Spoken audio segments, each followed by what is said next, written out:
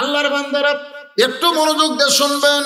আল্লাহ কোরআনে বললেন, ইয়া আইয়ুহাল্লাযীনা আমানুস্তাইনু বিস-সাবরি ওয়াস-সালাহ ইন্নাল্লাহা মা'আস-সাবিরিন।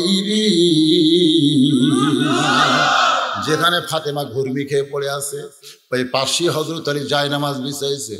জায়নামাজ রেখা সালাতুল হাজত নামাজ শুরু করেছে। কারণ আল্লাহর কাছে কোনো বান্দা যদি পাবার চায়, তাহলে নামাজের মাধ্যমেই চাওয়া লাগবে, নামাজের ভিতরেই চাওয়া লাগবে, নামাজের ভিতরে চাওয়ার উপায় আছে না নাই? আমরা যখন সুরা ফাতেহা পড়ি, এই সুরা ফাতেহার মধ্যেই কিন্তু আমরা বলি, ইয়া কানা আবুদু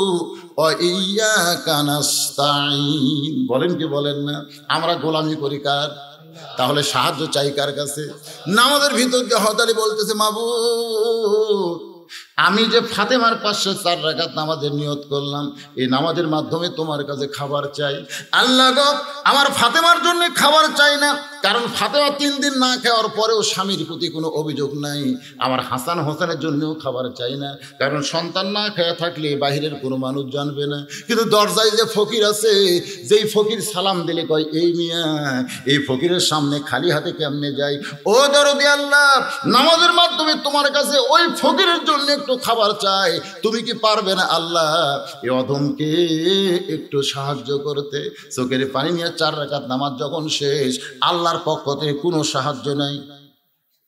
আল্লাহর পক্ষ থেকে কোনো সাহায্য নাই। আল্লাহ বলেছেন ধৈর্যশীলদের সঙ্গে কে আছে? কিন্তু খুদের পেটে কতক্ষণ ধৈর্য ধরা যায়? এই জন্য হজরত আলী নামাজ শেষ করে আল্লাহকে বলতেছে, মাবুদ তোমার কাছে সাহায্য চাইলাম, আমার ফাতেমার জন্য চাই নাই, আমার হাসান হোসেনের জন্য চাই নাই, আমি দরদার ফকিরের জন্য চাইছি, অথচ তুমি আমাকে সাহায্য করলা না। তুমি কি ওই বক্তাকে চেনো? আল্লাহ, যে বক্তা ওয়াজ করে কিন্তু আমল করে না।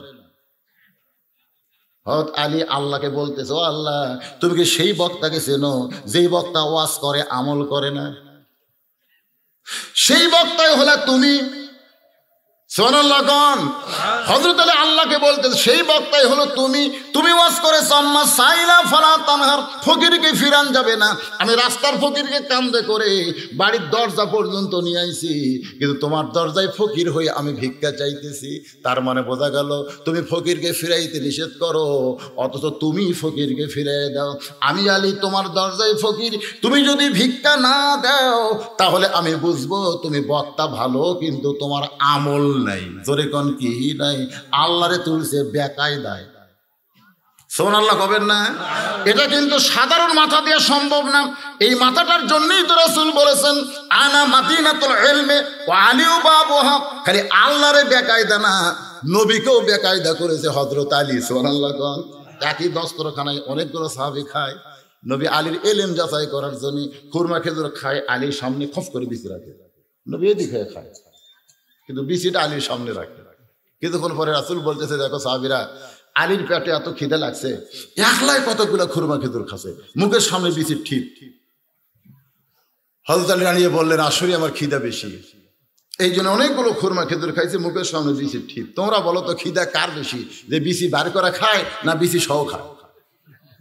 সাহাবেরা বলতেছে যে বিসি সহ খায় তার ক্ষুদা বেশি। তো নবীর সামনে দেখো এক বিসিও নাই। মানে এত খিদা লাগছে, বিসি বন্ধ বার করার টাইম পাইনি তো বিসি সহ ফেলছে। সঙ্গে সঙ্গে রাসুল দাঁড়িয়ে বললেন, আলী, এলেম তোমার না? এলেম আমার আল্লাহর তোমাকে দান করা হয়েছে ধরে রাসুল বললেন, আনা মাদিনাতুল ইলমে ওয়ালিউ বাবুহা। আমি হলাম এলেমের শহর। আর আলী হলো তার দরওয়াজা। আল্লাহ, তুমি ওয়াজ করেছ, ফকিরকে ফিরান যাবে না। এখন তুমি যদি আমাকে ফিরে দাও, তাহলে বুঝবা তুমি বক্তা, ভালো তোমার আমল নাই। আল্লাহরে তুলছে বেকায় দেয় সঙ্গে সঙ্গে জান্নাত থেকে এক টোপলা খাবার। হক আলীর হাতে আল্লাহ দিয়া দিছে। অমামিন দাবাতিন ফিল আরদি ইল্লা আলাল্লাহি রিজকুহা। পৃথিবীতে এমন কোনো বিচরণশীল প্রাণী নাই, যার রেজেকের ব্যবস্থা আমার আল্লাহ করেনি। এই আয়াত দ্বারা হচ্ছে আমার আল্লাহ রাজ্জাক। জোরে বলেন কি? আমাদের রেজেক দেওয়ার মালিককে আরও জোরে। জোরসে বলো।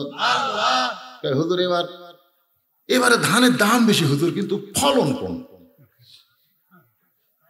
আল্লাহ কিন্তু মানুষের ভরাবারি পারতেছে না। আগে করছিল, ধান আছে পরে দাম নাই রে, ধান আছে। এবার আবার দাম দিতে দাম দিলে কি হবে? ধানই নেই। আচ্ছা আপনারা কেমনে খুশি হবে রেজেকের মালিক কে? মন খারাপ করতেছেন? ওই জান্নাতের খাবার টোপলা যখন হজরত আলীর হাতে, আপনারা বলেন, দুনিয়ার কোনো ধনী মানুষ যদি কিছু ভালো পাক করে, ওই পাকের সুগন্ধ চারিদিকে যায় কি যায় না? বোঝানোর জন্য বলতেছি, ধনির বাড়ি এইটা। প্রাচীর ওই পারে হলো গরিবের বাড়ি। প্রতিদিন ধনী গোস্ত তেল এনে দেয়, মাছের ভাজি করে, ডিম ভাজি করে, বিরিয়ানি পাক করে। আপনারা বলেন, ওই সুগন্ধ কি গরিবের বাড়িতে যায় না? গরিব ভাতের চাউল কিনারে টাকা নেয়। ভাতের চাউল কেনার পয়সা গরিবের কাছে নাই, কিন্তু ধনী প্রতিদিন বিরিয়ানি পাক করে খায়।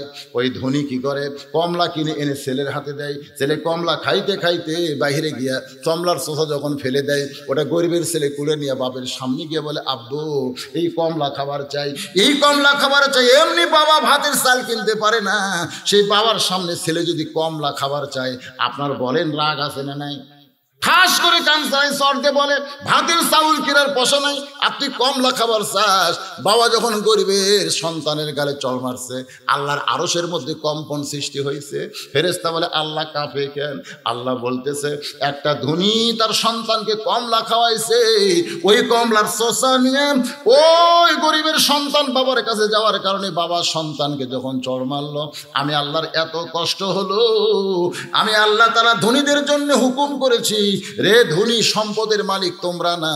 আমি আল্লাহ তোমাদেরকে আমানো স্বরূপ দান করেছি।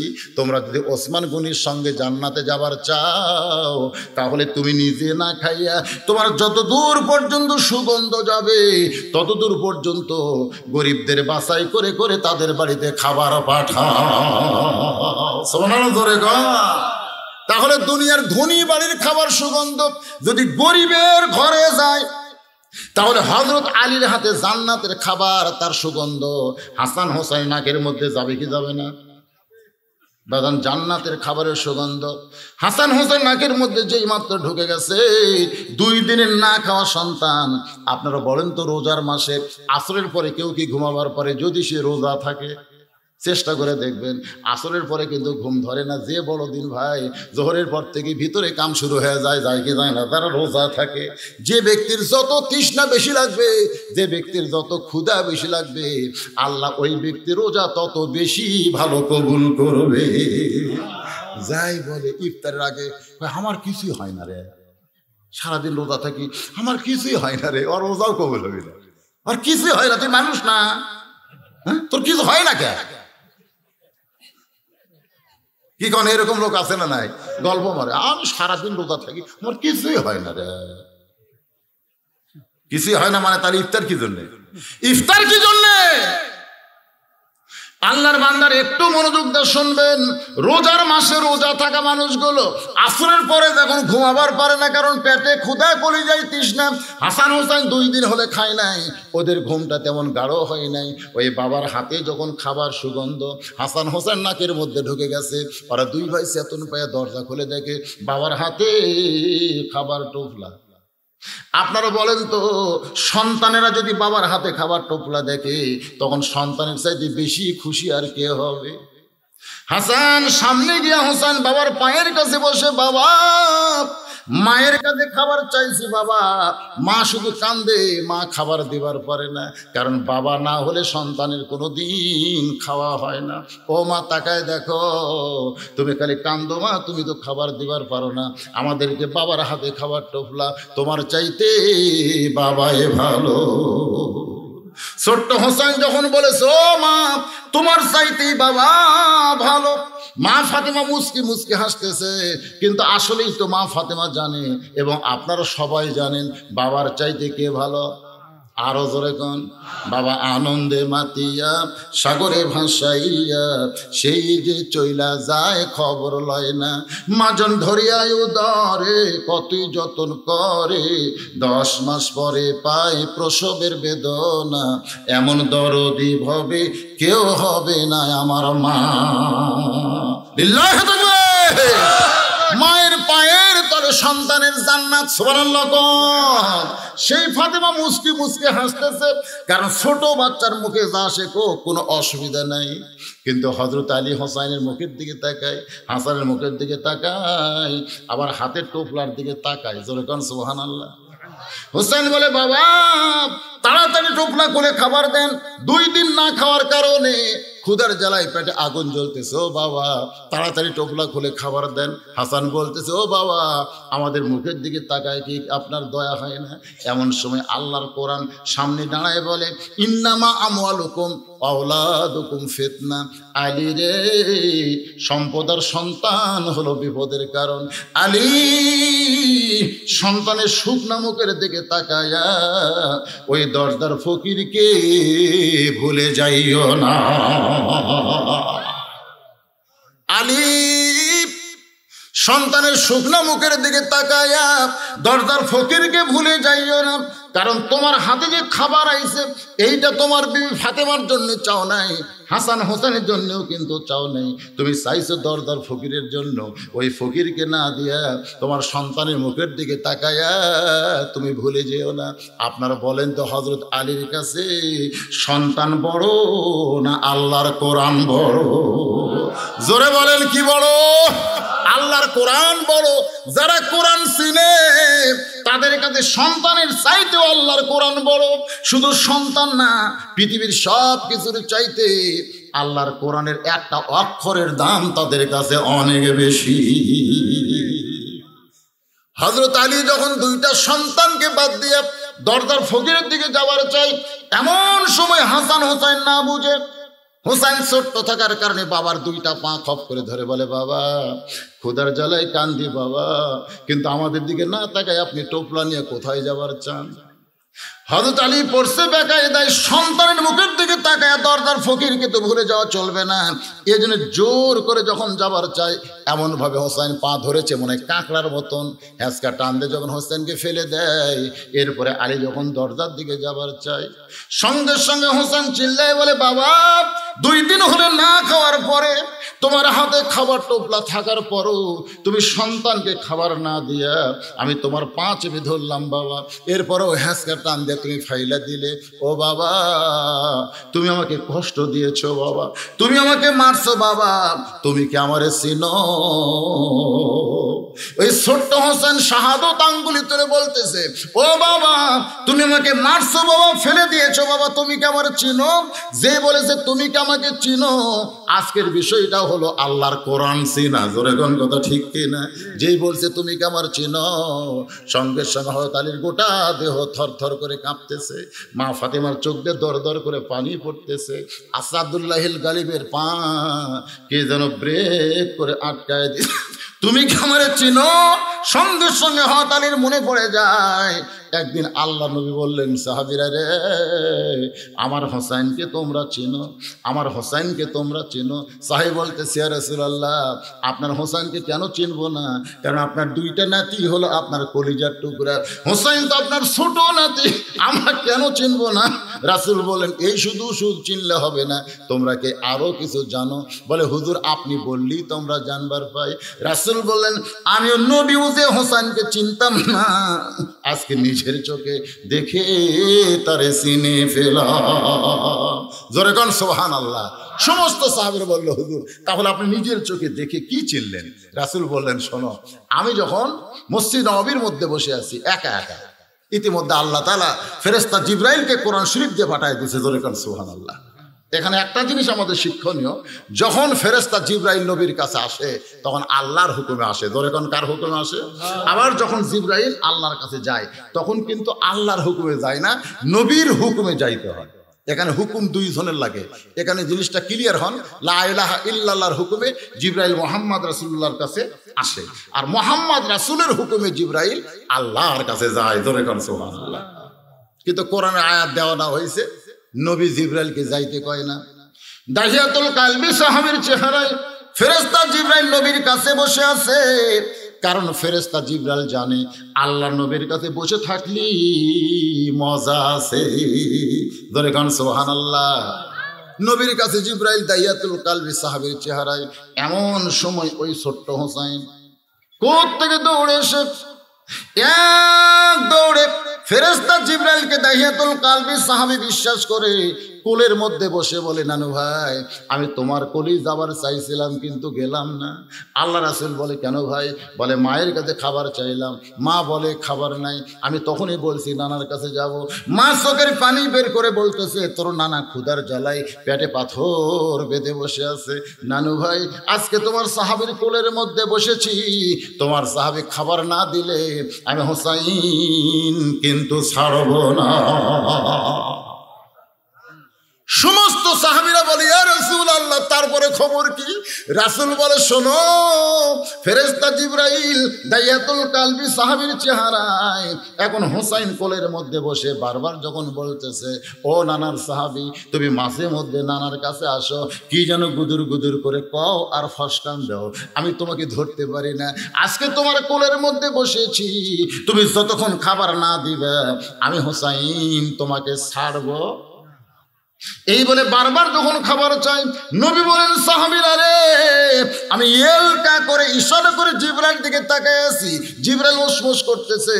আমি ইশারার দ্বারা বললাম, জিব্রাইল, তোমার কোলের মধ্যে যে বসেছে, তুমি ওসমোস করতেছো, এও আও করতেছে, তুমি কি তারে চিনো? কারণ সোহান আল্লাহ তুমি কি তারে চিনো? জিব্রাইল বলে রাসূলুল্লাহ, কেন চিনবো না? এইটা আপনার ছোট নাতি হোসাইন। আল্লাহ নবী বলে, জিব্রাইল, শুধু ছোট নাতি হোসাইন বললে হবে না, এর আরও যে পরিচয় আছে তুমি কি জানো? ফেরেস্তা জিব্রাইল বলে, হুজুর, এর কি পরিচয় আমি তো জানি না। আল্লাহ রাসেল বললেন, তাহলে শোনো, আমি আছি নামাজের শেষ দায় আমি নবী যখন নামাজের শেষ দায় থেকে ওই হুসাইন যে তোমার কোলে বসেছে, দৌড়ে এসে আমার পিঠে চড়ে বলতে, চল ঘোড়া, চল চল ঘোড়া, চল চল ঘোড়া, চল। আমি নবী ভয় পাইলাম। নামাজের মালিক আল্লাহ যদি হোসেনের উপর বেজার হইয়া যায়, এই যে নামাজ পড়া অবস্থায় একটা হাত দেয় হোসাইনকে, আমার পিঠ থেকে নামাতে চাই। যেই মাত্র হুসাইনকে পিঠ থেকে নামাবার চাইছি, নামাজের মালিক আল্লাহ ডাক দে বলে, হাবিব, আমার ভয় আপনি হোসাইনকে পিঠ থেকে নামাবেন না। আপনি যেমন হোসাইনকে ভালোবাসেন, আমি আল্লাহ তেমন ভালোবাসি। যতক্ষণ হোসাইন পিঠে চড়ে থাকবে, আপনি হোসাইনকে পিঠ থেকে নামাবেন না। আপনি ঘোড়া হয়েছেন আমি আল্লাহ আর বড় ভালো লাগতেছে। ফেরেস্তা জিব্রাইলকে নবী বলে, জিব্রাইল রে, যেই নবীর পিঠে চললে আল্লাহর ভালো লাগে, সেই হোসাইন তোমার কোলে বসেছে। তুমি অসমস কইর না। সঙ্গে সঙ্গে জিব্রাইল খামোশ হয়ে গেছে। ওরে বাবা রে সোনাল্লাহ কবেন না? কিন্তু হোসাইন বারবার বলতেছে ও নানার সাহাবি খাবার না দিলে কিন্তু তোমারে ছাড়বো না। এই বলে দাড়ির মধ্যে হাত ঢুকাই দিয়ে যখন বারবার বলতেছে, এমন সময় ফেরেস্তা জিব্রাইলের চোখ দিয়ে দরদর করে পানি পড়তেছে, কারণ ফেরেস্তা জিব্রাইল খায় না, খাওয়ার কোনো জিনিস তার কাছেও নাই, কিন্তু ধরেছে বায়না না দিলে ছাড়বে না। এমন সময় আল্লাহ ডাক দেয় বলে, জিব্রাইল রে, যে তোর কোলের মধ্যে বসেছে, তুমি কি তারে চিনো? জোরে খান সোহান আল্লাহ আল্লাহ পর্যন্ত বলতেছে জিব্রাইল, যে তোমার কোলের মধ্যে বসেছে তার কি তুমি চিনো। সঙ্গে সঙ্গে জিব্রাইল বলে, আল্লাহ, আপনি ভালো চিনেন। আল্লাহ ডাকতে বলে, জিব্রাইল, যদি তুমি ফেরেস্তা জিব্রাইল, এটা হোসাইন জানতো, তাহলে তোমার কোলের মধ্যে কোনো সময় বসতো না, তোমার কাছে খাবারও চাইতো না। তোমাকে দাহিয়াতুল কালবি সাহস বিশ্বাস করে যখন খাবার চাই, আমি আল্লাহর এত ভালো লাগছে, আমি জান্নাতের বাগান থেকে তোমার জামার ডান পকেট ভরায়া দিলাম। ফেরেস্তা জিব্রাইল, কোনোদিন খায়ও না, খাবার কিছু নাই, কিন্তু দিছে কে? এবার দাইয়াতুল কালবি সাহাবীর চেহারায় জামার মধ্যে হাতটা করছিল সব আঙ্গুর বের করে যখন হোসেনের হাতে দেয়, নবী সমুদ্রে বলে, জিব্রাইল, খবর কি? ইশারার দ্বারা বলতেছে, খবর কি? বলে, হুজুর, আল্লাহ আপনার নাতিকে এতই ভালোবাসে, জান্নাতের বাগানের আঙ্গুর আমার পকেট ভরায় দিস হোসাইন আঙ্গুরগুলো হাতের মধ্যে নিয়ে বলে, নানু ভাই, মায়ের কাছে শুনেছি, পেটে পাথর বেঁধে বসে আসো খুদার জ্বালায়। ধরো নানা, কয়েকটা আঙ্গুর তুমি নাও। নবী আমার যখন দুইখান হাত বাড়ায় দেয়, হোসাইন বলে, নানু ভাই, দুই হাতের মধ্যে সব আঙ্গুর দিলেও তো হাত ভরবে না। তাহলে দুই হাত কেন বাড়াইছো? আল্লাহ রাসুল দুই হাত বাড়ানোর কারণ হলো, এটা দুনিয়ার বাগানের আঙ্গুর নয়, এটা হলো জান্নাতের বাগান। যে আঙ্গুরে আমার আল্লাহর হাতের কুদ্দুতি পরশ রয়েছে। জোরে কন্যা সোহান আল্লাহ নবীর হাতের মধ্যে কয়েকটা আঙ্গুর দিয়া। এবার হোসেন বলতেছে, না না, তুমি আর আমি যদি দুইজন আঙ্গুর খাই, তোমার সাহাবি একলা একলাই বসে থাকবে, এটা কেমন দেখায়? ও, না না, তোমার সাহাবিকেও কয়েকটা আঙ্গুর দিতে হবে। এই বলে দৌড়ে সে দাহিয়াতুল কালবি সাহাবির চেহারায় আল্লাহর নবীর নাতি হোসাইন কয়েকটা আঙ্গুর দেয়া বলে, ও নানার সাহাবি, তুমি একলাই খাবার চাইছিলে, যার কারণে পকেট ভরে রাখছিলে। একলাই খাওয়া হয়নি বলে তুমি মনে কষ্ট নিও না। আমার নানা খাবে, তুমিও খাবে এবং আমিও খাব। তবে তোমরা শুনে নাও, তোমরা দুইজন হলে আমার মুরব্বী, নানাও মুরব্বী, নানার সাহাবিও আমার মুরব্বী। তোমরা দুইজন না খাইলে আমি কিন্তু খাব না। তোমরা দুইজন না খাইলে আমি কিন্তু খাব না। হোসাইন ধরেছে পাই না। নবী খাবার চাই কিন্তু জিব্রাইল তো খাবার পারে না। আল্লাহ রাসুল যখন আঙ্গুর মুখে দেবার চাই সঙ্গে সঙ্গে হোসাইন বলে না না তুমি একলাই কেন খাবা? না না, তোমার সাহাবিকেও খাইতে কও। কিন্তু নবী কেমনে খাইতে বলবে? কারণ নবী জানে ওটা জিব্রাইল। জিব্রাইল তো খাইতে পারে না, খাওয়ার তরিকাও জানে না। হোসাইন ধরেছে পাই না তোমরা দুইজন না খাইলে কিন্তু আমি খাব না। অনেক সময় হয়ে যায়, নবী খাবার মুখে দিবার চায়, কিন্তু জিব্রাইল দিকে তাকায় খাবার দিতে পারে না। এবার হোসাইন বলে, না না, তোমার আঙ্গুর আমার হাতে দেও না না। নবী বলতেছে, কেন ভাই? বলে, আমিও খাব না, তুমিও খাব না। আঙ্গুরগুলো সব তোমার সাহাবিকে ফেরত দেব। দেখতেছো না না না? আমরা দুইজন নিছি বলে তোমার সাহাবি আফসোস করে আঙ্গুর খায় না। আল্লাহ ডাকতে বলে, জিব্রাইল, আমি আমার নবীকে এত ভালোবাসি, আমার হোসেনকে এত ভালোবাসি। এই দুই ধনের ওসিলায় যতক্ষণ দাহিয়াতুল কালবি সাহাবির চেহারায় আঙ্গুর খাওয়ার ক্ষমতা তোমারে দিয়া দিলাম। আল্লাহ রাসুল বলে, সাহাবিরা রে যে হোসাইনের ওসিলায় আল্লাহ ফেরেস্তা জিব্রাইলকে জান্নাতের বাগানের আঙ্গুর দেয় যে হোসেন ওসিলায় ফেরেস্তা জিব্রাইলকে আল্লাহ আঙ্গুর খাওয়ায়, এই হোসেন কিন্তু সাধারণ মানুষ না। আজকে তোমাদের সামনে ওরে সিনায়া দিলাম। আলীর মনে পড়ে যায়, হোসেন বলতেছো, বাবা, আমারে মারছো, বাবা, ক্ষুদা পেটে টুপলার খাবার না দিয়ে আমারে থ্যাক না দিছো, বাবা, তুমি কি আমারে চিনো? ও বাবা, তুমি কি আমারে চিনো? কে যেন হজরত আলীর দুইটা পা ব্রেক করে দিছে বারবার মনে পড়ে যায়, আল্লাহ নবী সাহাবিদের নিয়ে আলোচনা করতেছে। আমি যেমন আপনাদের সামনে ওয়াজ করতেছি, আমার ওয়াজের মধ্যে অনেক বাহিরের কথা থাকে, কিন্তু আল্লাহর নবী যখন ওয়াজ করে, আপনারা বলেন তো এই ওয়াজে কোনো বাহিরের কথা আছে? কারণ আল্লাহ কোরআনে বলেছেন মায়ান্তিকু আনিল হাওয়া ইন হুয়া ইল্লা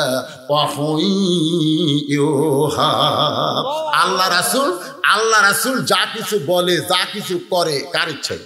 আমার দিকে খেয়াল করেন কার ইচ্ছায়? তো নবী সাহাবেদিন ওয়াজ করতেছে। নবীর ওয়াজগুলো সাহাবিরা পাগলের মতন শুনতেছে।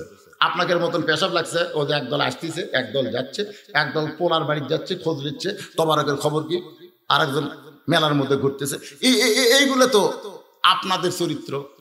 হওয়ার পিছনে কারণ বক্তা আমি। কিন্তু আল্লাহ রাসূল যখন বক্তা, তখন এরকম ওটা বসা।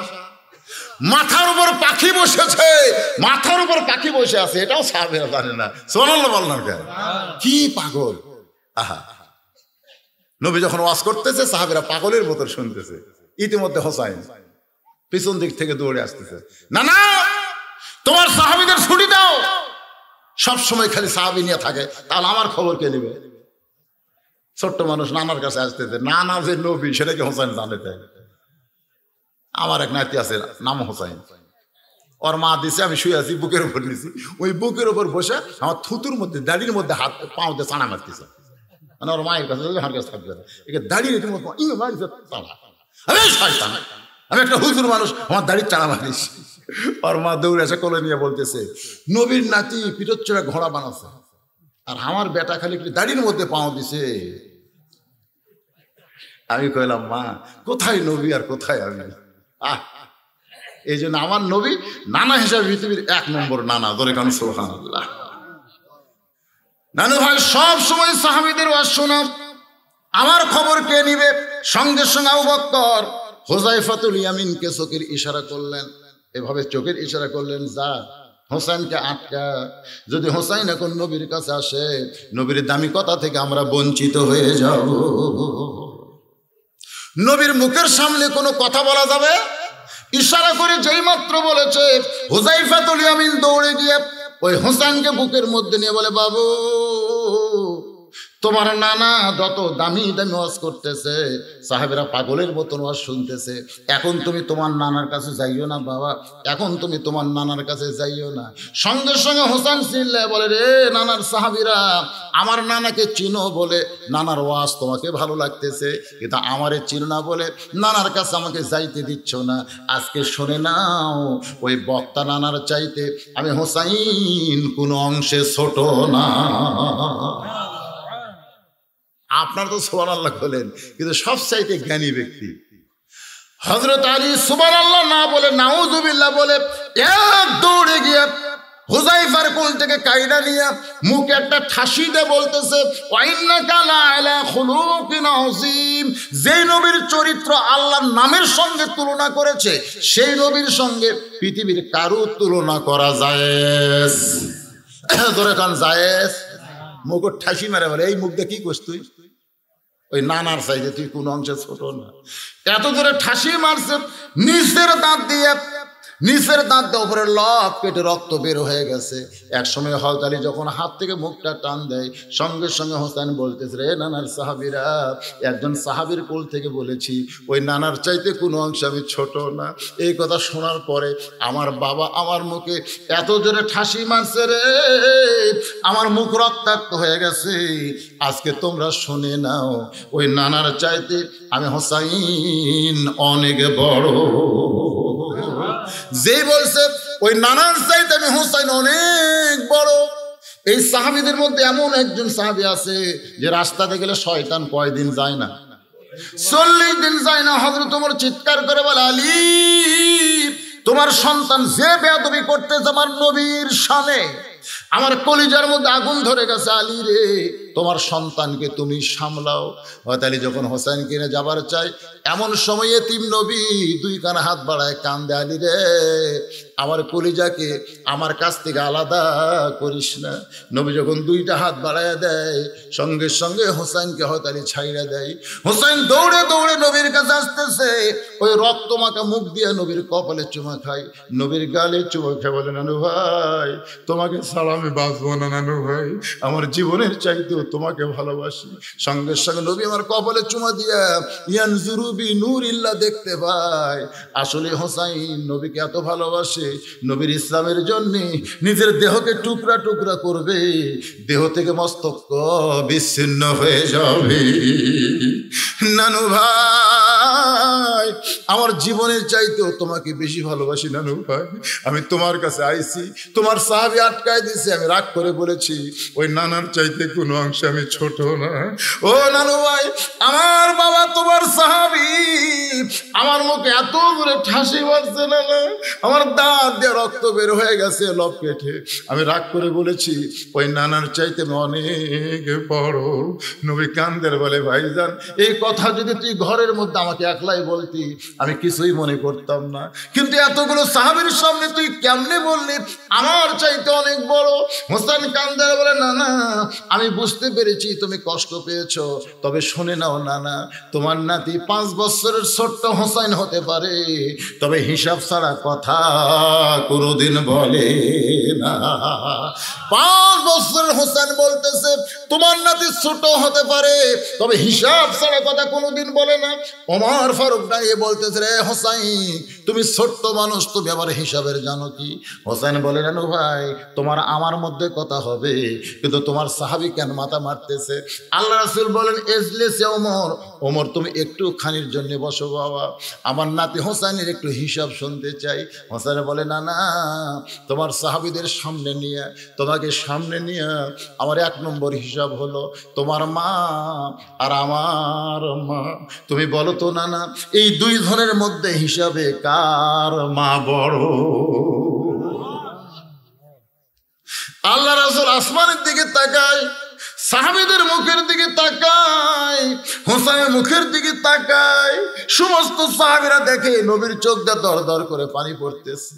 রাসেল বলে, সাহাবিরা রে, এই প্রশ্ন দুনিয়াতে কেউ আমাকে কোনোদিন করবে? আমি কোনোদিন চিন্তা করি নাই। আজকে তোমরা শুনে নাও, আমার মা আমি না জান্নাত পাবে কি পাবে না? সেই গ্যারান্টি আমি নবী দিবার পারব না। কিন্তু হোসেন মা ফাতেমা শুধু জান্নাত পাবে না।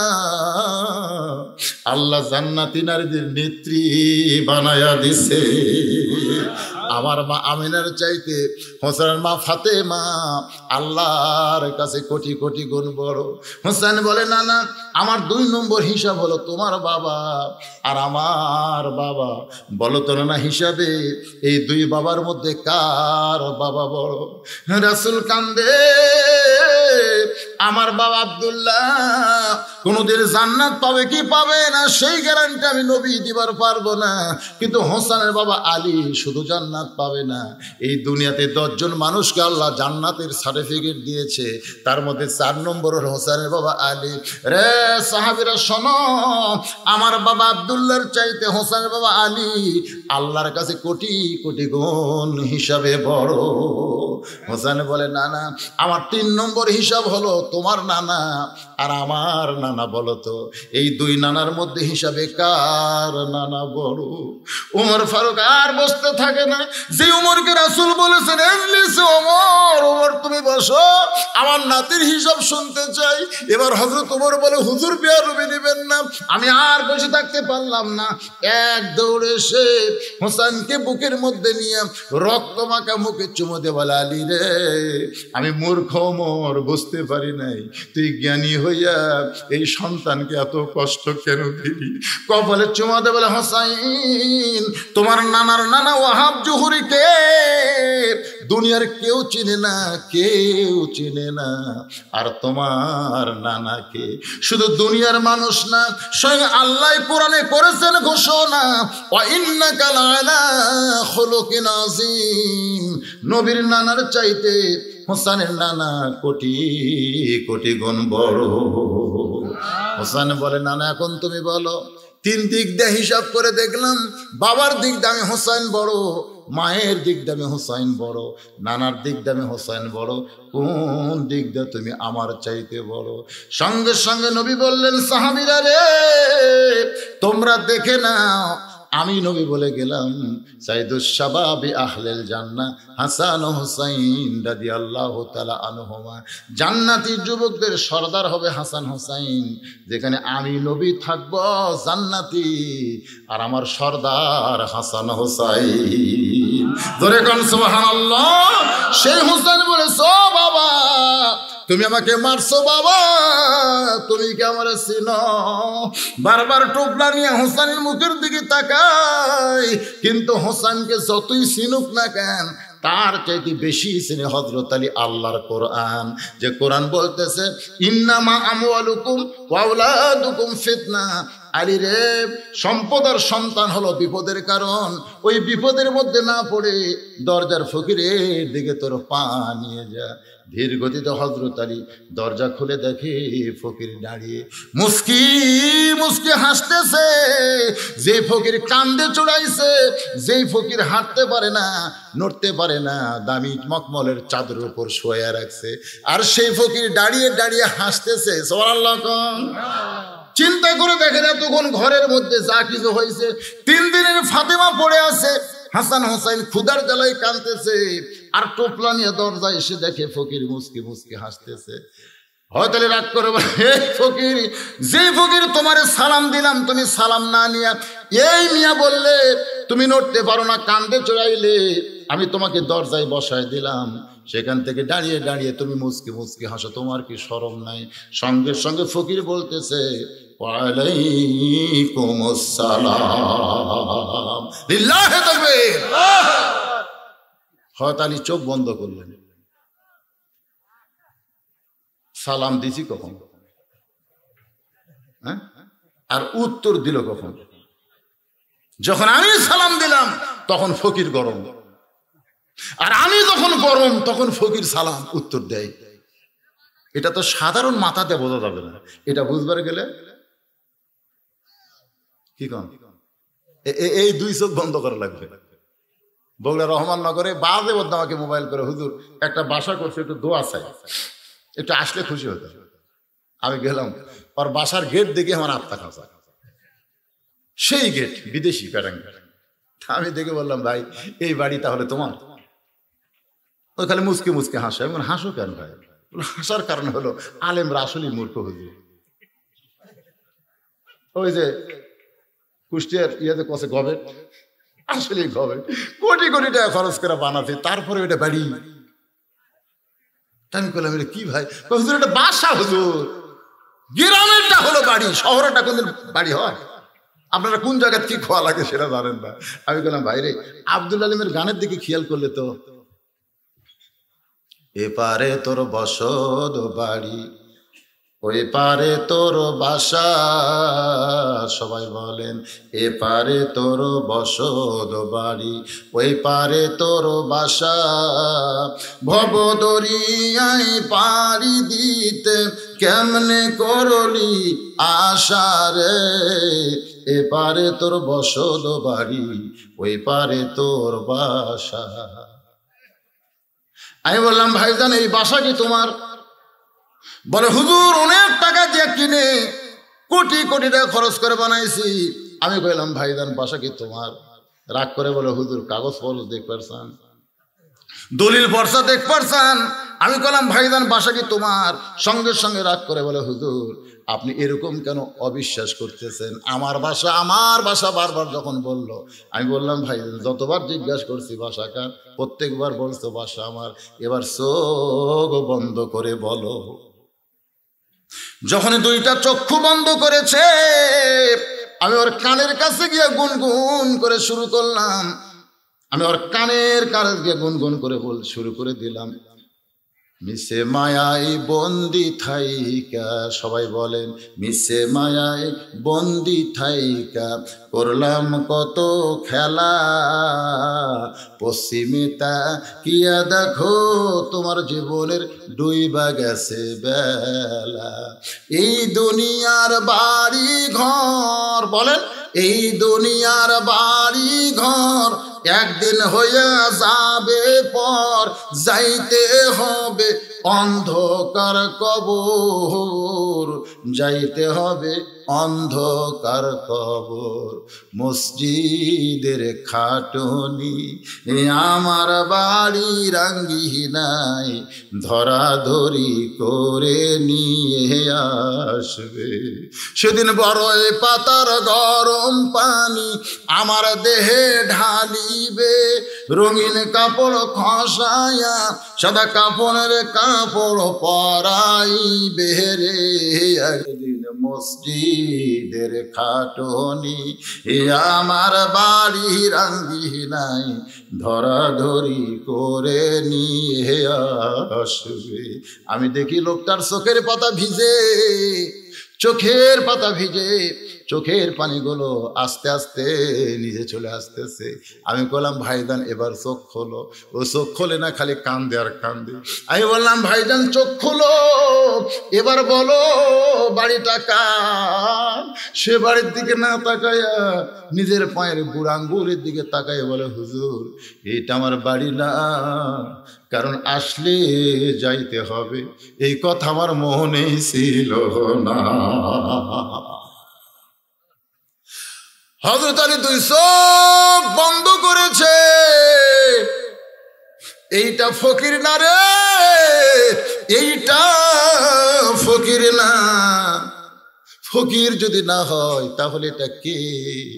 এটা দুই চোখ দিয়া বোঝা যাবে না। বন্ধ করেই দেখা লাগবে, তোর কোন কথা ঠিক কি না? আল্লাহর বান্দারা সেই মাগরিবের নামাজের পর থেকে আমার শরীরের মধ্যে এমন একটা ঘড়ি আছে ভাই ভাইজান। বারোটা বাজলি, এখান থেকে টিস করে ওঠে। আমি কিন্তু এতক্ষণ ঘড়ি দেখি নাই, আপনার ঘড়ির দিকে খেয়াল করে, একটা বারকে আমি ঘড়ি দেখছি? দেখছি? এ কথা কন, দেখছি। কিন্তু এখন টিস করে উঠছে, কারণ বুঝবার পারতেছি, ঘড়িতে রাত বারোটা বাজিছে। বারোটা বাজলি দেওয়া শেষ, তা কিন্তু না।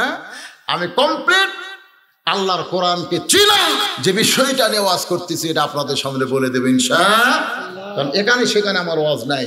এটাই জীবনের শেষ ওয়াজ হতে পারে। পারে কি পারে না ভাই? তবে যে মুহূর্তে আমি আপনাদের কাছে বলব, কোনো কিছু আমার না। এই মাদ্রাসা এরকম এতিম আপনারা রাখেন না ভাই জান। আগামী বছর যেন এসে দেখি, যদি আল্লাহ আমাকে হায়াতে রাখে, যদি আমি আসবার পারি, এরা যদি আমার দাওয়াত দেয়, আরে হামাক না দেখ। যদি দুর্বল কোনো মৌলানা আসে, যেভাবে আমার পাও পিছলে গেছিল, ওই পেশাব করবার হায় হায়। এখানে একটা পেশাবখানা, পায়খানা হলে ক্ষতি আছে কত ক্ষতি আছে? মাদ্রাসাটা একটু সাইজ হোক। আমি যা দেখলাম তিনটা বছর একই অবস্থা থাকে। তা আজকে আপনাদের কাছে একটু রুমাল যাবে ভাই। কারা কারা পঞ্চাশ টাকা, একশো টাকা, বিশ টাকা, কম করে হলো দশটা টাকা ওই রুমাল ব্যাগের মধ্যে দিবেন। এরকম কারা কারা দিবেন? আল্লাহকে একটু হাত দেখান তো দেখি। যারা দিবেন ভাই রে, দশ টাকা, বিশ টাকা, পঞ্চাশ একশো টাকা কিছুই না ভাই যান হাত নামান আল্লাহ রাস্তা হাত নামান। আচ্ছা এই যে এতক্ষণ ওয়াজ শোনার পরে, তাহলে কি এমন একটা জায়গায় রাখছি? যাওয়ার তো কোনো কথা না, এটা শোনা লাগবে। আপনারা বসেন, সকলে বসেন। আর আজকের বিষয়টা হলো, কোরআন শুধু পড়লে হবে না, বুঝলে হবে না। আল্লাহর কোরআনকে না চিনলে কোরআনের গুরুত্ব বাংলাদেশে থাকবে না। আমরা কোরআনকে চিনি না বলে কোরআনের মাদ্রাসার গুরুত্ব আমাদের কাছে কম। আলীর কাছে কোরআনের গুরুত্ব বেশি, ইন্নামা আমল হুকুম ওয়াউলাদ হুকুম ফিতনা। আল্লাহর কোরআনের গুরুত্ব বেশি, নিজের সন্তানের দিকে তাকায় নাই। কোরআনের গুরুত্ব দিয়া দরদার ফকিরের দিকে যাচ্ছে। ঠিক কিনা বলেন? কিন্তু আমাদের কাছে কিসের গুরুত্ব বেশি? সন্তান ধন সম্পদের গুরুত্ব বেশি। পকেটে টাকা আছে, তারপরও তারপরেও টাকা দেওয়ার সময় খেয়াল করি পুরানা টাকা, দোকানদার লেয় না। এই টাকা দান করি। সবচেয়ে ছোট নোট দান করে এই টাকাগুলো হচ্ছে বড় লোট আসেনি, খালি দশ টাকা, খালি দশ। আপনাদের পকেটে কি দশ টাকা আছে? আলির টোপলার মধ্যে অনেক কাপড় ছিল, পুরানা কাপড়ও ফকিরের জন্য বিছাই দিবার পারতো পারতো কি পারতো না? কিন্তু পুরানা কাপড় দিছে না ভালোটা দিছে। এ, কথা কান, পুরানা না ভালো? তা আপনারা পকেটের সবচেয়ে পুরানা টাকা দিলেন কে? ভালোটা থুইয়া। হ্যাঁ? টিয়াকা হলি হলো, লাম তানানুল বীর হাত্তা তুনফিকু মিম্মা তোহিব্বুন। টিয়াকা হলি হলো, তাহলে আপনি নতুনটা থুলেন কে? আপনি দেওয়ার সময় তো নতুনটা দিবার পারতেন। টাকা হলি হলো, আপনার কাছে দশ টাকা আছে, বিশ টাকা আছে, পঞ্চাশ টাকা আছে। এই তিনটা লোটের মধ্যে পঞ্চাশ টাকা দেওয়া লাগবে। কারণ তিনটার মধ্যে দাম বেশি কার? দশের, বিশের না পঞ্চাশের? তো তাহলে লাম তানানুল বীর হাত্তা মিম্মা তোহিব্বুন। এই আয়তে দিয়ে খেয়াল করে, এই পুরানাগুলো এখন ফেরত দেওয়া যান, নতুনগুলো দিয়ে যান। নতুন যারা দিচ্ছেন তাদের চিন্তা নেই। কিন্তু যারা পুরাতন দিলেন। একটু মহব্বত নিয়ে দরুদ পড়েন, আল্লাহুম্মা সাল্লি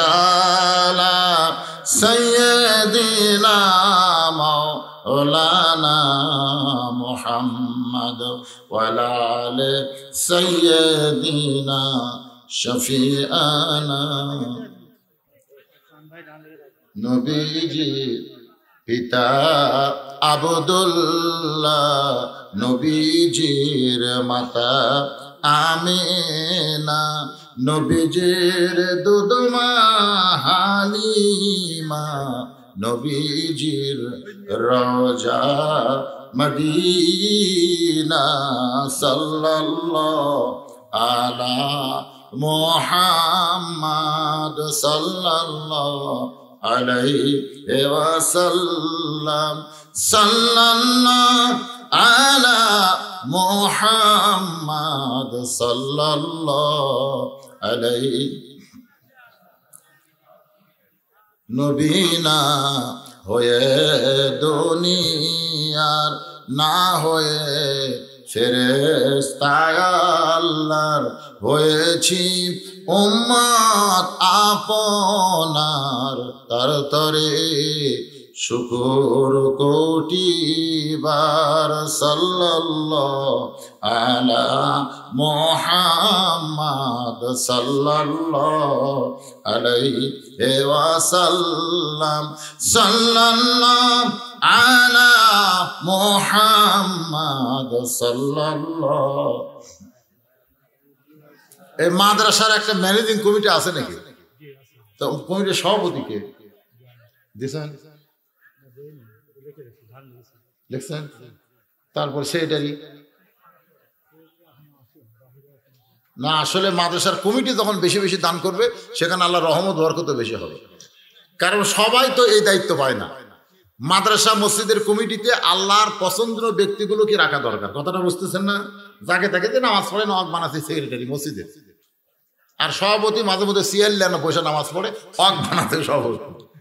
মসজিদের মধ্যে সভাপতির সেক্রেটারি যদি সিয়ারে নামাজ পড়ে, তাহলে ইমাম সাহেব তো কিছু বলবার পারবে না, কারণ বললেই চাকরি যাবে তোর এখন কথা ঠিক না কিন্তু আজকে আপনারা শুনে নেন, সিয়ারে বসে কিন্তু নামাজ হবে না, মসজিদে হবে না, বাড়িতে হবে। আপনি অসুস্থ হয়ে বাড়ির যদি চেয়ারে নামাজ পড়েন, হবে। কারণ মসজিদ, ইয়ার কি মারার জায়গা না? মসজিদ হলো জামাতে নামাজ পড়ার জায়গা জোরে খান কথা ঠিক কিনা। আর আপনি হেঁটে হেঁটে মসজিদে গেলেন, তাহলে আপনি হাঁটতে পারেন। আর যে ব্যক্তি দাঁড়াবার পারে নামাজ পড়াও যেরকম ফরজ, নামাজে দাঁড়ানো সেরকম ফরজ। নামাজের কয়টা ফরজ?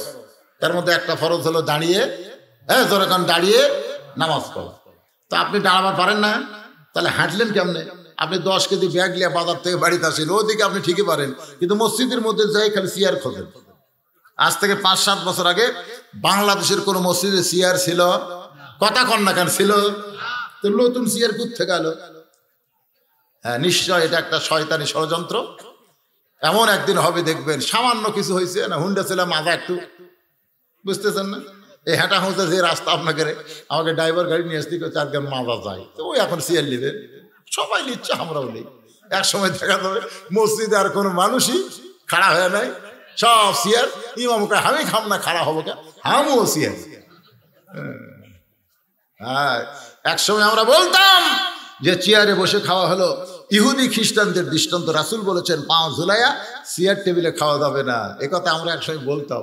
এখন আমরা হুজুররাও চেয়ারত বসে খাচ্ছি, তোর এখন কথা ঠিক ছিল তবে আমি যখন খাই, আপনারা খেয়াল করে দেখবেন, আমি এক পাও তুলে খাই। অনেকে চেয়ারের পাও তোলেন কেন? আমি করলাম পাঁচ ছাড়া দেখ খাওয়া, এটা রাসুল নিষেধ করেছেন। ব্যাক আয়দার বোঝেন না? এখন বাংলাদেশের মসজিদ হয় ব্যাখায়দা শেষ পর্যন্ত সিয়ার দিয়ে ভরে যাবে। আজও শোনে নেন আগামীকালও শোনেন, চেয়ারে বসে মসজিদে নামাজ হবে না। কারণ জামাতে নামাজ পড়া সবার জন্য না, যারা সুস্থ, সবল মানুষ তাদের জন্য জামাত। জোরে কথা ঠিক কিনা? যে ব্যক্তি চেয়ারে বসে নামাজ পড়ে নি কি সুস্থ না অসুস্থ? জোরে কান সুস্থ না অসুস্থ? অসুস্থ ব্যক্তির জন্য জামাতে নামাজ পড়া লাগবে না। সে যেখানেই পড়ুক, খাড়া হয়ে পড়ুক, শুয়ে থেকে পড়ুক, বসে থেকে পড়ুক পড়ুক। তবে জামাতে আসতে গেলে তাকে জামাতের পরিবেশে কৌমলিল্লাহে কনিতিন কৌম মানে দাঁড়াও, লিল্লাহি আল্লাহর জন্য কনিতিন মানে আনুগত্য নিয়ে। দাঁড়াতেই হবে। আমার কথা বুঝলেন? চেয়ারে যখন নামাজ পড়বে, জামাতে নামাজ পড়তে গেলে দুটা জিনিস আপনারা খেয়াল করবেন। একটা হলো কাতার সোজা করা। কি করা? জামাতে নামাজ পড়া যেমন ওয়াজিব, কাতার সোজা করা কি? তাহলে চেয়ারে যারা বসল আর পায়ের গোড়ালি কুটি, আর আপনার গোড়ালি কুটি সোজা করবেন কি দিয়ে? এই জন্য অনেক চিন্তা ভাবনা করে সমস্ত আলেম ওলামা বাংলাদেশের একটা আলেমও বলবে না যে চেয়ারে বসে মসজিদে নামাজ হবে। কোনো আলেম বলবে না। তাহলে সমস্ত আলেম যেটা হারাম ফতুয়া দিছে, সেটা আপনাকে মসজিদের মধ্যে ঢোকানো যাবে? যাবে? বরং যদি কোনো সময় ঢোকে, চেয়ার আপনারা বের করে দিবেন। চেয়ার বের করে দিবেন, এই চেয়ারে নামাজ হবে না। কথা প্রসঙ্গে যেই কথা নিয়ে আসলাম, একটু খেয়াল করবেন। প্রথম বিষয়টা হলো, কোরআনকে চেনা হজরত আল্লাহর কোরআনকে চিনেছে বলে, ফকিরকে মার ধর না করে কোরআনকে চিনেছে বলে, ফকিরকে কান্দে নিয়েছে। কোরআনকে চিনেছে বলে, সবচাইতে দামি চাদরটা ফকিরের জন্য বিছাই দিছে। কোরআনকে চিনেছে বলে, নামাজের মাধ্যমে আল্লাহর কাছে ভিক্ষা চাইছে। কোরআনকে চিনেছে বলে, বিবির জন্য চাই নাই, সন্তানের জন্য চাই নাই, দরদার ফকিরের জন্য চাইছে, ধরে গণ ঠিক কি না আল্লাহর কোরআন চিনেছে বলে, হাসান হোসেন সামনে পা ধরব এরপরও সন্তানের মুখের দিকে না তাকায়া দরজার ফকিরের কথা খেয়াল করেছে। আল্লাহর কোরআনকে চিনেছে বলে ফকিরের জন্য দরজা খুলে দেখে ফকির মুস্কি মুস্কি হাসতেছে।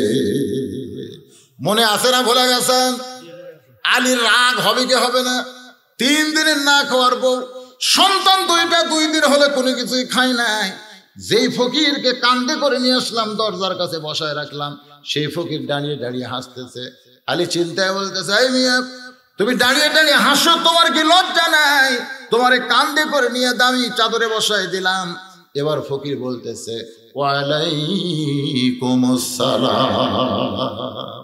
সঙ্গে সঙ্গে হজরত চমকে উঠছে, কারণ সালাম দিলাম কখন আর উত্তর দিল কখন? এবার চোখ বন্ধ করে বলে, ফকির, তুই তো আসলেই ফকির না। বল বল তুই কে? সঙ্গে সঙ্গে ফকিরের চেহারায় ওই মানুষটা বলতে চালি রে, আসলেই আমি ফকির না, আসলেই আমি ফকির না, আমি হলাম আল্লাহ রহমতের ফেরেস্তা তবে ফকির সাদার কারণ কি? ফকির সাদার কারণ কি? কারণ ফেরেস্তাদের মধ্যেও কিন্তু গল্প হয়, যখন আল্লাহ বলেছিলেন আমি দুনিয়াতে খলিফা প্রেরণ করব।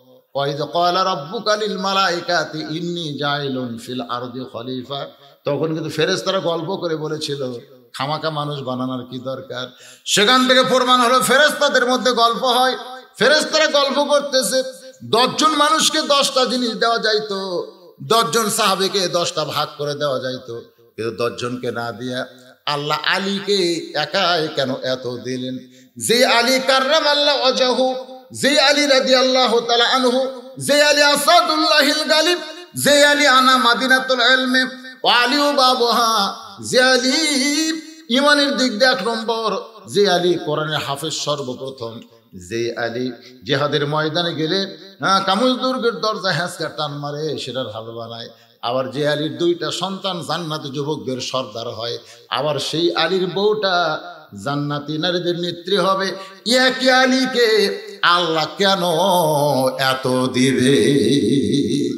এক আলীরে আল্লাহ এত কেন দিবে? এইরকম কথা যখন আল্লাহ ডাকদাল ফেরেস্তারা আমার বান্দা আলীকে নিয়ে তোমরা কথা বলতেছো। আমার আলীকে আমি আল্লাহ ইচ্ছা করে কোনো ডিগ্রি দেই নাই পার্সালিতে কোনো ডিগ্রি দেই নাই। আমার আলী প্রত্যেকটা ডিগ্রি তার নিজের কর্মের কারণে আমলের গুণে অর্জন করেছে। আসাদুল্লাহ গারিব ডিগ্রি কখন পাচ্ছে? যখন মহাবীর আমর নবীকে হত্যা করার জন্য রওনা দিয়েছে। আপনারা অবশ্যই আমার শুনেছেন। তখনই ডিগ্রি পাচ্ছে। আলী বলেছে আমর আসার আগে আমি আলী তার সামনে যাবার চাই। রাসুল বললেন, তুমি আমরকে চিনো? আমরকে চিনো? প্রতি সন্ধ্যায় একুশ কেজি খাদ্য খায়। আড়াই মজুরের তরবারি জেহাদের সাড়ে তিন মজুরের তরবারি নিয়ে জেহাদের ময়দানে যায়। আর সে আমরের সামনে তুমি যাওয়ার চাও? আলী বলতেছে রাসুল্লাহ আমি তো আমাকেও চিনি না। আমি চিনি আমার আল্লাহকে। ধরে কর সোহান আল্লাহ আল্লাহর ইমান আমার ভিতরে, রাসুলের মহব্বতের পাওয়ারে। শুধু আমর না, পৃথিবীর তাম বাতিলের সামনে আমি আলী দাঁড়াবার চাই। ধরে কর সোহান আল্লাহ কি সাহস? এই আমলের কারণে আল্লাহ তাকে আসাদুল্লাহ গালিব ডিগ্রি দিয়ে দিয়েছে। ভাইজান, তো ব্যাপারটা আমি যেটা আপনাদের বোঝাবার চাইলাম আজকের আলোচনার ভিতর দিয়ে, আমাদের সামনে বহু বিপদ, আপদ, মুসিবত, আলীর মতন হয়তো অত বিপদ আসবে না, তার চাইতে কিছু বিপদ আসতে পারে। আল্লাহর কোরআন দিয়ে আমাদের সমস্ত বিপদকে মোকাবেলা করতে হবে। ধরে কোন কথা ঠিক কিনা? কোরআনকে সবসময় পাশে রাখবেন, কোরআনকে সবসময় সাথে রাখবেন। আলীর কাছে কোরআন ছিল বলি তো, আম্মা সাইলা ফালা তানহার। জোরে কোন কথা ঠিক কিনা? আলীর কাছে কোরআন ছিল বলি তো, লান তানানুল বের হাত্তা তুম ফিকু মিম্মা আলীর কাছে কোরআন ছিল বলেই তো, ইয়া আইয়ুহাল্লাযীনা বিস-সাবরি ওয়াস-সালাহ ইন্নাল্লাহা মা'আস সাবিরিন। আলীর কাছে কোরআন ছিল বলেই তো, ইন্নামা আমওয়ালুকুম ওয়া আওলাদুকুম ফিতনা। জোরে কোন সুবহানাল্লাহ। যদি কোরআন না থাকতো, এতগুলো পরীক্ষা ড্যাঙ্গায়া রেজাল্ট গোল্ডেন এ প্লাস করা কঠিন ছিল। জোরে কোন কথা ঠিক কিনা? আমরা যদি আমাদের সামনে গোল্ডেন এ প্লাস রেজাল্ট চাই, আল্লাহর কোরআন ছাড়া আমাদের বিকল্প কোনো রাস্তা আল্লাহ পাক আমাদের সকলকে কবুল করুক। সকলে বলে আল্লাহ আমিন।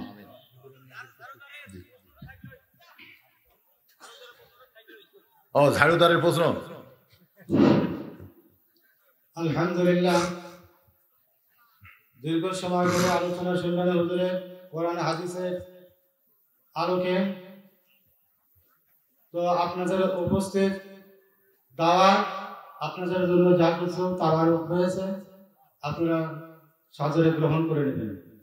আর আমার বিশেষ অনুরোধ আপনাদের কাছে, একটু সারিবদ্ধ হয়ে যাবে, লাইন কি পাওয়ার চোখের পলকে বিলকিসের সিংহাসন সামনে হাজির হবে?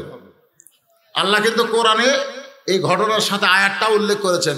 জালিকা ফাদলুল্লাহ ইউতিহি মাইয়াশা আল্লাহুজুল ফাদলিল এই আয়াতের বাংলা অর্থ যারা বুঝেছেন তাদের কাছে আমলের কথা বলা লাগবে না, কিন্তু যারা বোঝেন নাই, তাদেরকে বলব সর্ব অবস্থায়, সকল অবস্থায় যারা আল্লাহর প্রতি ভরসা করবে, যা কিছু হয় আল্লাহর তরফ থেকে হয়, এই বিশ্বাস যারা কলিজার মধ্যে রাখবে, আল্লাহ বলেছেন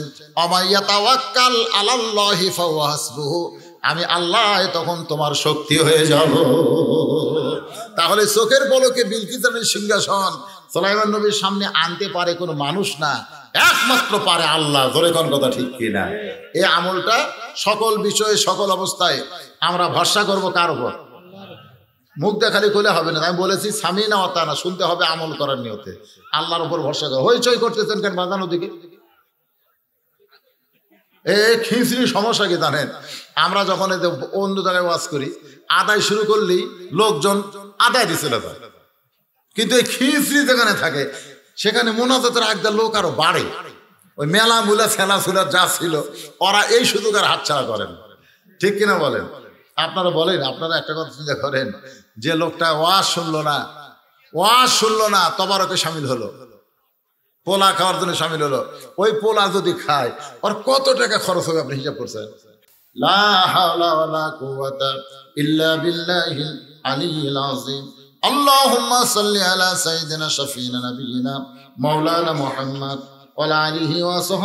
ওয়া বারাক ওয়া সাল্লিম। এই ভাইরা আছেন? আপনারা মোনাজাত শুরু হওয়ার সাথে সাথে, আমি কথা বলি, শুরু হওয়ার সাথে সাথে আপনারা তাবারক দিবেন, কিন্তু আপনাদের জবান বন্ধ রাখবেন। আপনারা হইচই করবেন না, আপনারা মনোজাতের মধ্যে হাত যদি নাও তোলেন, হাত দিয়ে তো তবরক দিবেন, কিন্তু আমিন আমিন বলবেন। তাহলে ইনশাল্লাহ তাবারকও দেওয়া হবে, মনোজাত আল্লাহর দরবারে কবুল হবে। আল্লাহ আমিন। আল্লাহ সালাম আমিন কাসালাম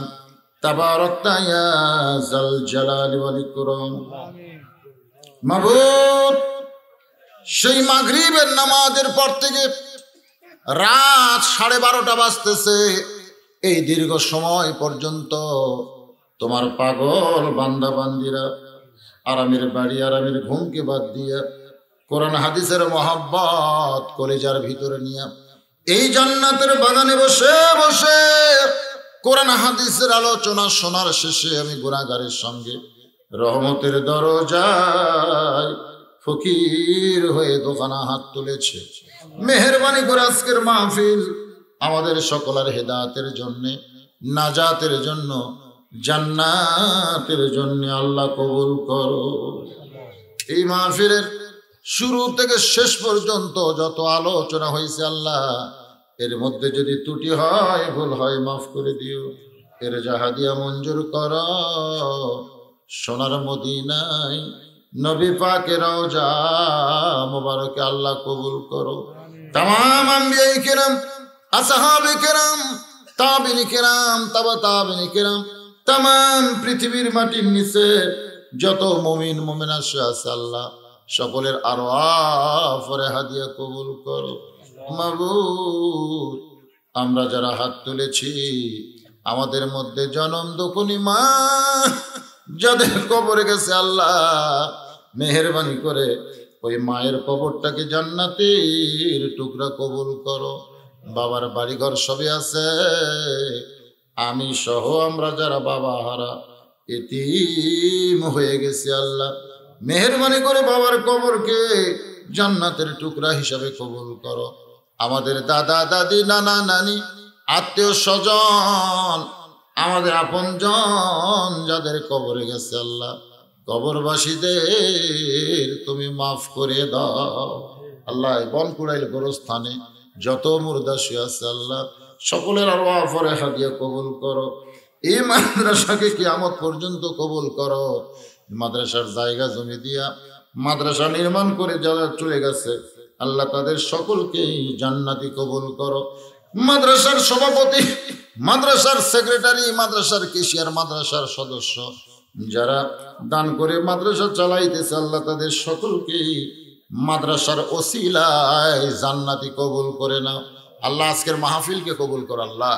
আজকের মাহফিলের সম্মানিত সভাপতি, সম্মানিত বিশেষ অতিথিবৃন্দ সম্মানিত আলেম ওলামা হাজি সাহ আল্লাহ ইমাম মসজিদ মাদ্রাসার মোহতামিম মাদ্রাসার তালবেলিম আল্লাহ সকলকে আল্লাহ তুমি কবুল করে নাও আল্লাহ। আমার মা বোনেরা, পর্দার অন্তরালে বসে বসে আর শুনেছে, আবিদা সালিহা, পর্দা নিশি কবুল করো, মা ফাতেমার চরিত্র দান করো। আমরা যারা অসুস্থ আছি আল্লাহ, আমাদেরকে সুস্থ করে দাও আল্লাহ। কে কোন নিয়তে হাত তুলেছে সকলের নেক নিয়ত, নেক আশাকে আল্লাহ তুমি কবুল করো। প্রত্যেক বছর এমন করে একটা জান্নাতের বাগান যেন এখানে লাগে আল্লাহ। অত্র এলাকার মানুষদেরকে সেই ব্যবস্থা করার তৌফিক দিয়ে দাও। সকলকে মিলে মিশে মহব্বতে মাদ্রাসার কাজে আত্মনিয়োগ করার তৌফিক দিয়ে দাও আল্লাহ। যারা দান করেছে, যারা দান করবে, আল্লাহ সকলের দানগুলোকে জান্নাতের বিনিময় হিসেবে কবুল করে নাও আল্লাহ। সুবহান রব্বিক রব্বিল ইজ্জাতি আম্মা ইয়াসিফুন, ওয়া সালামুন আলাল মুরসালিন আলহামদুলিল্লাহি রব্বিল আলামিন।